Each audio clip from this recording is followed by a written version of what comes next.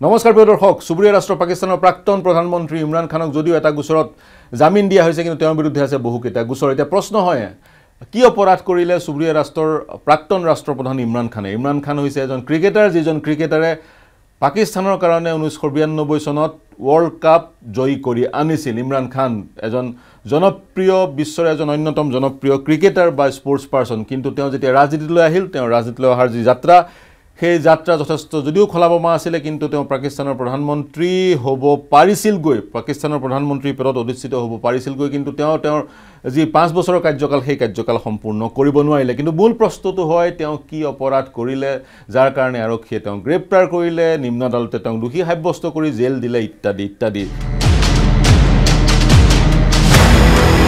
তেওঁৰ বিৰুদ্ধে দুটা গোচৰ প্ৰিয় দৰ্শক পূৰ্বতো আমি টচাখানা গোচৰটোৰ বিষয়ে বিশ্লেষণ আগবঢ়াইছিলোঁ। তেওঁৰ বিৰুদ্ধে দুটা গোচৰ।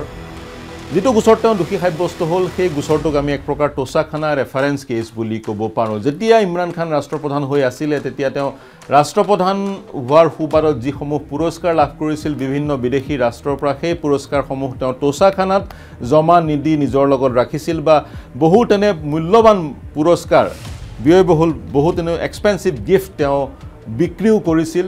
তেওঁৰ বিৰুদ্ধে এনেধৰণৰ অভিযোগবোৰ উত্থাপন হৈছিল আৰু অভিযোগবোৰ সঁচা প্ৰমাণিত হোৱাত নিম্ন আদালতে তেওঁক তিনি বছৰৰ কাৰণে জেল দিছিল আৰু ইলেকশ্যন কমিশ্যন অফ পাকিস্তানে তেওঁক নিষেধ তেওঁৰ বিৰুদ্ধে নিষেধাজ্ঞা জাৰি কৰিছিল। নিৰ্বাচনত অৱতীৰ্ণ হোৱাৰ পৰা পাঁচ বছৰলৈ। গতিকে অনাগত যি নিৰ্বাচন তিনি চাৰি মাহত পাকিস্তানত যি সাধাৰণ নিৰ্বাচন অনুষ্ঠিত হ'ব সেই দৃষ্টিৰ পৰা ইমৰান খান সেই নিৰ্বাচনত প্ৰতিদ্বন্দ্বিতা কৰিব। ইমৰান খানে নোৱাৰিব। এতিয়া টৌচাখানা কেছটোৰ বিষয়ে যদি চমুকৈ চমুকৈ কওঁ মূলতঃ মূল অভিযোগটো আছিলে ইউনাইটেড ইউ এইৰ যিজন মুৰব্বী U A United Arab Emirates এমিৰেটছৰ যিজন মুৰব্বী তেওঁ এটা অতি অতি দামী ঘড়ী ইমৰান খানক উপহাৰ দিছিলে। ইমৰান খান তেতিয়া পাকিস্তানৰ ৰাষ্ট্ৰপ্ৰধান হৈ আছিল। আৰু সেই ঘড়ীটো ইমৰান খানে নিলাম কৰিছিলে। আৰু কিন্তু নিয়মটো হৈছে যিসমূহ পুৰস্কাৰ আপুনি ৰাষ্ট্ৰপ্ৰধান হিচাপে লাভ কৰে বা পাকিস্তানৰ ৰাষ্ট্ৰপ্ৰধানে লাভ কৰে বা পাকিস্তানৰ কোনো শীৰ্ষ পৰ্যায়ৰ বিষয়াই বা সেনা বিষয়াই বা পাকিস্তানৰ মন্ত্ৰীয়ে লাভ কৰে সেই গিফ্টসমূহ সেই উপহাৰসমূহ টৌচাখানাত জমা দিব লাগে আৰু উপহাৰসমূহৰ মূল্যায়ন হয় আৰু সেই যিমান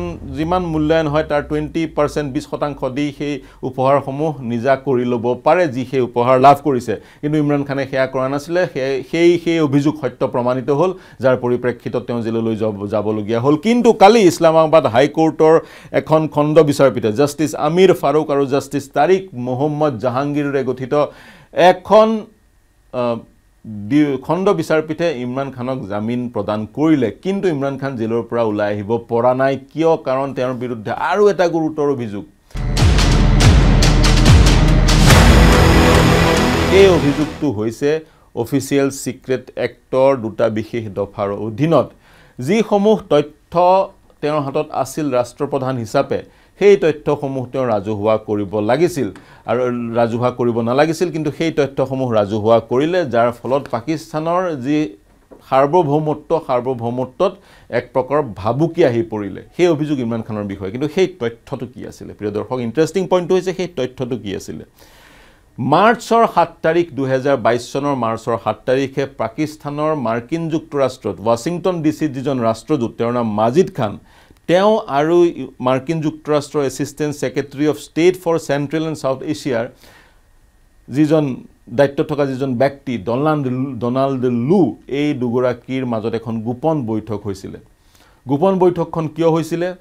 কাৰণ ফেব্ৰুৱাৰীৰ চৌব্বিছ তাৰিখে অৰ্থাৎ প্ৰায় পোন্ধৰ দিনৰ পূৰ্বে ফেব্ৰুৱাৰী চৌব্বিছ তাৰিখে দুহেজাৰ বাইছ চনৰ ফেব্ৰুৱাৰী চৌব্বিছ তাৰিখে যিটো দিনত ৰাছিয়াৰ ৰাষ্ট্ৰপ্ৰধান ভ্লাডিমিৰ পুটিনে ইউক্ৰেইনক আক্ৰমণ কৰিছিল সেই দিনটোত ইমৰান খান ক'ত আছিলে? ৰাছিয়াত আছিলে। আৰু সেই দিনটোত তেওঁ সংবাদ মাধ্যমত মন্তব্য কৰি এক প্ৰকাৰৰ ৰাছিয়াৰ যি এখন সৰু ৰাষ্ট্ৰ আক্ৰমণ কৰাৰ অভিপ্ৰায় এই অভিপ্ৰায়ক সমৰ্থন কৰিছিল আৰু এই কথা মাৰ্কিন যুক্তৰাষ্ট্ৰই একেবাৰে ভাল পোৱা নাছিলে। আৰু ভাল নোপোৱাৰ এই ভাল নোপোৱাৰ কথাটো ইমৰান খানে সেই সময়ত ৰাছিয়াত থকা আক্ৰমণ কৰাৰ দিনাখন ৰাছিয়াত থকা আৰু ৰাছিয়াক সমৰ্থন কৰা গোটেই বিষয়টো যে আমেৰিকাই ভাল পোৱা নাই এই কথা ডনাল্ড লুৱে অৱগত কৰিছিল মাজিদ খান চাহাবক। আৰু গোটেই কথা গোপনীয় হৈ আছিলে। কিন্তু যিহেতু যিহেতু ইমৰান খান ৰাষ্ট্ৰপ্ৰধান আছিলে সেই সময়ত পাকিস্তানৰ ইমৰান খানে সেই কথা গম পাইছিলে মন কৰিব ইমৰান খানে বাৰে বাৰে কৈ আছিলে তেওঁৰ চৰকাৰখন পাকিস্তান তেহৰিকে ইনচাফৰ চৰকাৰখন। পি টি আই যিটো দলৰ নেতৃত্ব ইমৰান খানে বহন কৰে তেওঁলোকৰ চৰকাৰখন খনৰ পতন ঘটাবলৈ বিদেশী ৰাষ্ট্ৰই চেষ্টা কৰি আছে বা তেওঁ অভিযোগ উত্থাপন কৰিছিল পাকিস্তানৰ আভ্যন্তৰীণ বিষয়ত মাৰ্কিন যুক্তৰাষ্ট্ৰই হস্তক্ষেপ কৰিছে বুলি। হস্তক্ষেপ এয়াই আছিলে। আৰু মন কৰিব পাকিস্তানৰ সৈতে মাৰ্কিন যুক্তৰাষ্ট্ৰৰ সম্বন্ধ কেতিয়াও ভাল ভাল হৈ থকা নাছিলে। বিশেষকৈ জ' বাইডেন অহাৰ পিছত জ' বাইডেন অহাৰ পিছত জ' বাইডেনে এবাৰো ইমৰান খানেৰে টেলিফোনিক বাৰ্তালাপ কৰা নাছিলে। এবাৰো টেলিফোনিক বাৰ্তালাপ কৰা নাছিলে। এই যি সম্বন্ধ সম্বন্ধ আৰু বেয়াৰ ফালে গতি কৰিলে যেতিয়া ইমৰান খানে সমৰ্থন জনালে ইমৰান খানে সমৰ্থন জনালে ৰাছিয়াক। মই মাৰ্চৰ সাত তাৰিখ দুহেজাৰ বাইছ চনৰ পাকিস্তান এম্বেচি মাৰ্কিন যুক্তৰাষ্ট্ৰৰ ৱাশ্বিং ডি ৱাশ্বিংটন ডি চিৰ পাকিস্তান এম্বেচিত হোৱা মিটিংখনৰ কথা কৈছোঁ। তাৰপিছত আমি আহিম এপ্ৰিলৰ এপ্ৰিল ন দুহেজাৰ বাইছ তাৰিখলৈ। সেইদিনাখন ইমৰান খানৰ পি টি আই চৰকাৰে পাকিস্তানৰ সংসদত নেশ্যনেল এছেম্বলি বুলি যাক কোৱা হয় ৱাশ্বিংটন ইছলামাবাদৰ সংখ্যাগৰিষ্ঠতা প্ৰমাণ কৰিব পৰা নাছিলে যাৰ ফলত পি টি আই চৰকাৰৰ পতন ঘটিছিল আৰু ইমৰান খানে পদত্যাগ পত্ৰ প্ৰেৰণ কৰিবলগীয়া হৈছিল পদত্যাগ দিবলগীয়া হৈছিল আৰু তাৰপিছত পি পি পি আৰু পি এম এল নৱাজ এই দুটা দলে মিলিজুলি চৰকাৰ গঠন কৰিছিল আৰু শ্বেহবাজ শ্বৰীফ পাকিস্তানৰ প্ৰধানমন্ত্ৰী হৈছিলে পি এম এল এনৰ পৰা। তেওঁ পি এম এল এনৰ মুৰব্বী আৰু P P P P P পিৰ বিলাৱল ভুট্টো বিদেশ মন্ত্ৰী হৈছিলে। বৰ্তমান তেওঁলোক দায়িত্বত নাই কাৰণ বৰ্তমান কেয়াৰটেকাৰ চৰকাৰ চলি আছে। কাৰণ অনাগত সময়ত প্ৰায় নব্বৈ দিনৰ ভিতৰত পাকিস্তানত নিৰ্বাচন অনুষ্ঠিত হ'ব। আৰু যেতিয়াই পাকিস্তানত নিৰ্বাচনৰ সময় আহি পৰে সেই সময়ছোৱাত পাকিস্তানৰ চৰকাৰখন চৰকাৰ চৰকাৰখন চলাই এখন কেয়াৰ পাকিস্তানখন চলাই এখন কেয়াৰটেকাৰ গভৰ্ণমেণ্টে বৰ্তমান কেয়াৰটেকাৰ গভৰ্ণমেণ্টৰ শাসন চলি আছে। পুনৰ চৰকাৰ পতনৰ কথাটো লৈ যাওঁ ইমৰান খানৰ পতন হ'ল পদত্যাগ পত্ৰ প্ৰেৰণ কৰিবলগীয়া হ'ল। এই ইমৰান খানৰ পতনৰ গোটেই ঘটনাটোত বা ইমৰান খান চৰকাৰখনৰ পতনৰ গোটেই ঘটনাটোৰ কাৰণে খানে অভিযোগ কৰিলে আমেৰিকাক। আৰু আমেৰিকাক অভিযোগ কৰা এটা যুক্তিও আছে। কাৰণ মাজিদ খান আৰু ডনাল্ড লুৰ মাজত হোৱা বৈঠকখনত ডনাল্ড লুৱে স্পষ্টকৈ কৈছিলে যদিহে অনাগত সংখ্যাগৰিষ্ঠতা প্ৰমাণৰ যি প্ৰক্ৰিয়া সেই প্ৰক্ৰিয়াত ইমৰান খান পৰাজিত হয় আৰু চৰকাৰখনৰ পতন হয় তেতিয়া আমেৰিকাই পাকিস্তানক ক্ষমা কৰি দিব। আৰু সেয়াই হ'ল। আৰু পাকিস্তান ইমৰান খান যিহেতু এই বিষয়টোৰ বিষয়ে অৱগত আছিলে পৰৱৰ্তী সময়ত ইমৰান খানে বা তেওঁৰ সময়ত থকা বিদেশ মন্ত্ৰীজনে এইসমূহ কথা ৰাজহুৱাভাৱে বহুকেইখন ৰাজনৈতিক ৰেলীত অৱগত কৰিলে ৰাইজক ৰাজহুৱাভাৱে জনালে। আৰু ৰাইজক ৰাজহুৱাভাৱে মাৰ্কিন যুক্তৰাষ্ট্ৰৰ এই হস্তক্ষেপৰ বিষয়ে জনোৱাৰ কাৰণে তেওঁৰ বিৰুদ্ধে অফিচিয়েল ছিক্ৰেট এক্টৰ দুটা দফাৰ অধীনত দফা পাঁচ আৰু দফা নৰ অধীনত তেওঁৰ বিৰুদ্ধে গোচৰ ৰুজু হ'ল। কাৰণ তেওঁ শপত লৈছিল। অফিচিয়েল ছিক্ৰেট এক্টখন ব্ৰিটিছৰ সময়ৰ এক্ট তেনে অনুৰূপ এক্ট এখন আইন এখন ভাৰততো প্ৰযোজ্য।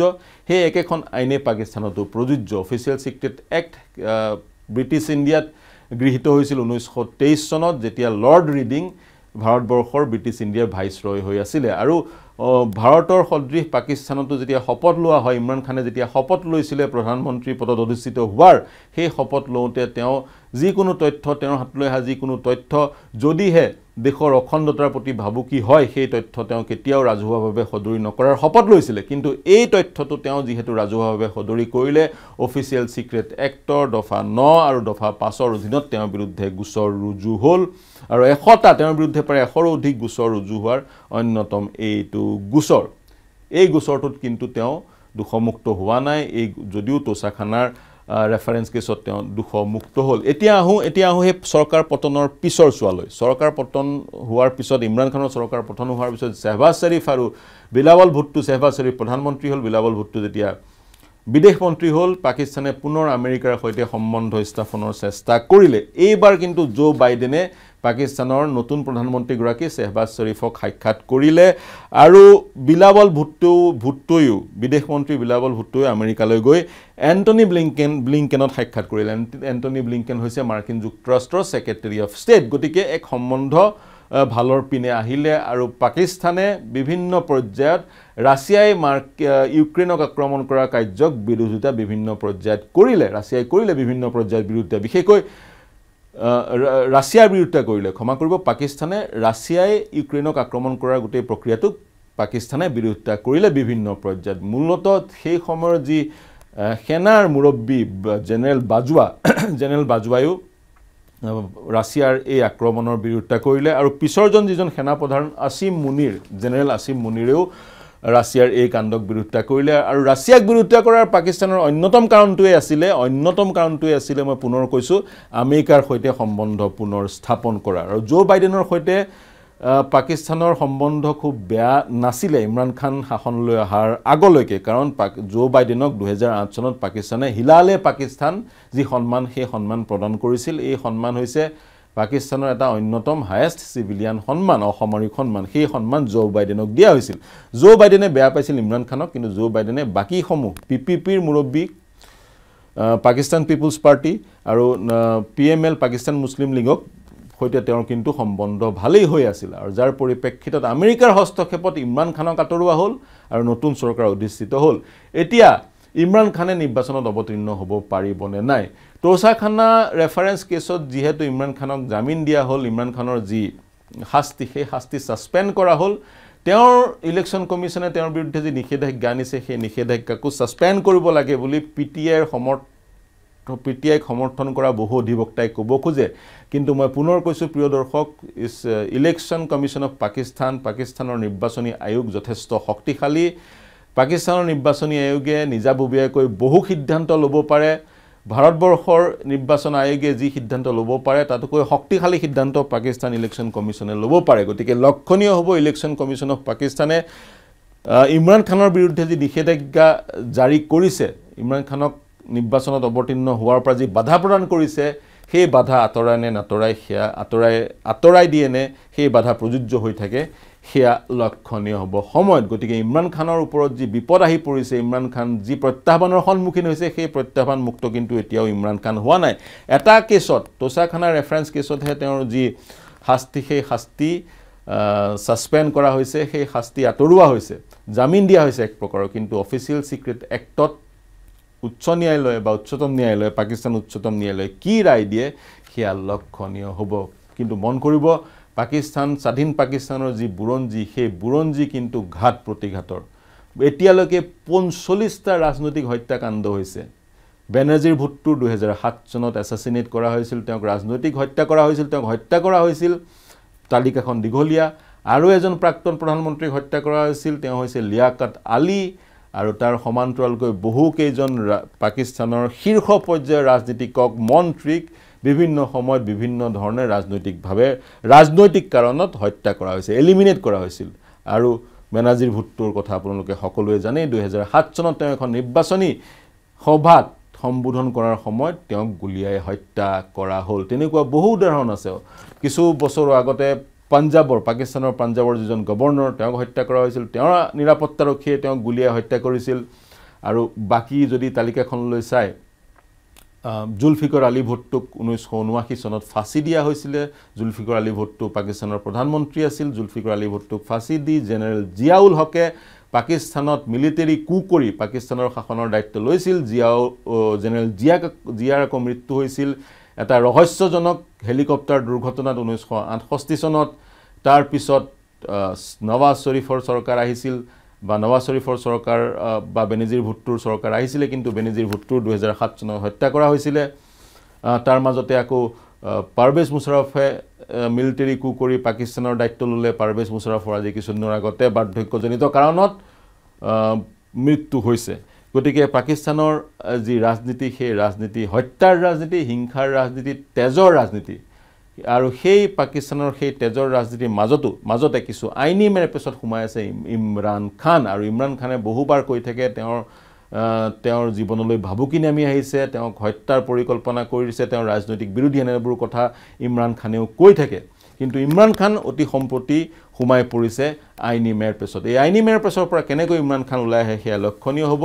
কিন্তু মই পুনৰ কৈছোঁ আমাৰ চুবুৰীয়া দেশখনৰ ৰাজনীতি কিন্তু হত্যাৰে ভৰা হিংসাৰে ভৰা আৰু এক তেজৰ ৰাজনীতি বুলি ক'ব লাগিব আৰু মাৰ্কিন যুক্তৰাষ্ট্ৰই আমেৰিকাত প্ৰভাৱ বিস্তাৰ কৰিব বিচাৰিবই কাৰণ আমেৰিকাত ইতিমধ্যে প্ৰভাৱ বিস্তাৰ কৰিছে চাইনাই। পিপুলছ ৰিপাব্লিক অফ চাইনাই চাইনাৰ সৈতে পাকিস্তানৰ ভাল সম্পৰ্ক কাৰণ চাইনাৰ ভাৰতবৰ্ষৰ সৈতে বেয়া সম্পৰ্ক।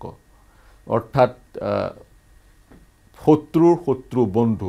এই নীতিৰে পৰিচালিত হৈ চাইনাই এক ভাল সম্পৰ্ক স্থাপন কৰিছে পাকিস্তানৰ সৈতে আৰু পাকিস্তানৰ বহুকেইটা বহুকেইটা আৰ্থ বহুকেইটা আন্তঃগাঁথনিৰ প্ৰজেক্টত চাইনাৰ সমৰ্থন আছে আৰু চাইনা চাইনাই পাকিস্তানক সমৰ্থন দিছে আৰু পাকিস্তানৰ পাকিস্তানক বহুকেইটা অৰ্থনৈতিক পেকেজ চাইনাৰ আগবঢ়োৱাও পৰিলক্ষিত হৈছে। প্ৰিয় দৰ্শক জিৰ' জিঅ' পলিটিক্স যথেষ্ট জটিল জিঅ' পলিটিক বিশ্লেষণ ইমান সৰলকৈ কৰিব পৰা নাযায় কিন্তু জিঅ' পলিক্স পলিটিক্সৰ কাৰণে আজি পাকিস্তানৰ ইমৰান খানৰ এই অৱস্থা হৈছে বুলি এক প্ৰকাৰ ক'ব পৰা যায়। পৰৱৰ্তী সময়ত কি হ'ব পাকিস্তানত সেয়া লক্ষণীয় হ'ব কিন্তু এখন সুস্থিৰ পাকিস্তান ভাৰতৰো কাম্য যদি পাকিস্তান অস্থিৰ হৈ থাকে তাৰ প্ৰভাৱ ভাৰতবৰ্ষতো পৰিব বা ছাউথ এছিয়াৰ বিভিন্ন প্ৰান্তত পৰিব। গতিকে সুস্থিৰ পাকিস্তান এখন এনচিয়'ৰ কৰিবলৈ মাৰ্কিন যুক্তৰাষ্ট্ৰই পাকিস্তানৰ ইণ্টাৰনেল এফেয়াৰ্ছত আভ্যন্তৰীণ ব্যৱস্থাত হস্তক্ষেপ কৰিলে ঠিকেই কিন্তু মাৰ্কিন যুক্তৰাষ্ট্ৰই এখন সুস্থিৰ পাকিস্তানৰ সৃষ্টি কৰাত কি ভূমিকা লয় সেয়া লক্ষণীয় হ'ব প্ৰিয় দৰ্শক এয়া আছিল আজিৰ বিশ্লেষণ। পাকিস্তানৰ প্ৰধানমন্ত্ৰীগৰাকী প্ৰাক্তন প্ৰধানমন্ত্ৰীগৰাকীয়ে শিৰোনাম দখল কৰাৰ কাৰণে এই বিশ্লেষণৰ অৱকাশ আহিলে এই বিশ্লেষণ কেনে পালে জনাব কিবা প্ৰশ্ন থাকিলে কৰিব আমাৰ ইউটিউব হেণ্ডেল আৰু ফেচবুক পেজত। আপোনালোকে কৰা প্ৰশ্নসমূহ বিশেষজ্ঞৰ জৰিয়তে আমি সমূহৰ বিশেষজ্ঞৰ জৰিয়তে উত্তৰ দিবলৈ চেষ্টা কৰিম আৰু তাৰ লগতে আমাৰ এই বিশ্লেষণসমূহৰ সমালোচনা কৰি থাকিব মন্তব্য কৰি থাকিব কাৰণ আপোনালোকৰ সমালোচনা মন্তব্য আমাৰ কাৰণে চালিকা শক্তি। মই পাৰ্থজ্যোতি বৰাই এইখিনি কথাৰে এই মুহূৰ্তত এৰিলোঁ। ধন্যবাদ।